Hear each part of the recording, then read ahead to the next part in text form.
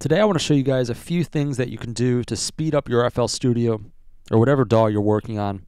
Not all of these will work across DAWs, but I'm going to show you what I use on a regular basis that helps speed up my software here. So first things first, let's uh, close all windows here. We go to View, Close All Windows. That's just going to close all the plugins that are currently open. Second, let's go to Macros, Tools, Macros. We're going to want to go to Purge Audio purge unused audio clips.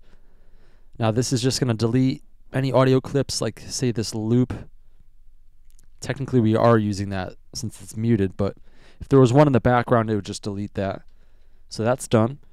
Next we're going to go to Tools, Macros, select unused channels. Now this will select any unused channels in your patterns that are not being used. Um, so like the default kick, default snare, I'll show you here. So we go back to channel rack and you can see it's selected there. Next you're just going to want to do function alt delete. Hit OK. That's going to clean up your project right there. So following that, we're going to go to back to tools, macros. You can hit switch smart disable for all plugins. And this will basically, when a plugin's not being active, when it's not being used, it'll it'll be shut down uh, uh, for the time being. That's all I can really think of. It's about four or five things. But oh, one more actually. Here's one more.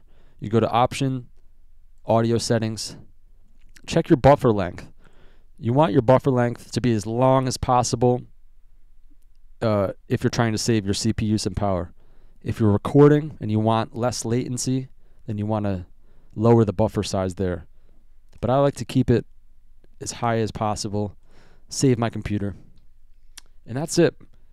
So if you guys learned something about saving your computer, um, subscribe to the channel, and we'll see you in the next video.